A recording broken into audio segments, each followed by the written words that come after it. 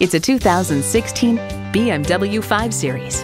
It's the epitome of sophistication in turbocharged form. Welcome to your oasis.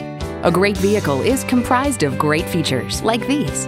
Integrated navigation system with voice activation, dual zone climate control, refrigerated box located in the console, hands-free liftgate, automatic transmission, gas pressurized shocks, Bluetooth wireless audio streaming, power tilting steering column, auto dimming rear view mirror, and intercooled turbo inline four cylinder engine.